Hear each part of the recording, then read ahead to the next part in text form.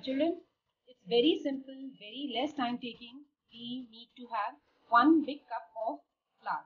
This is typical refined. Uh, this is not refined flour. This is wheat flour.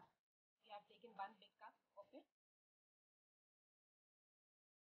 Now we are going to sieve it. Why sieving is important is it adds air to it.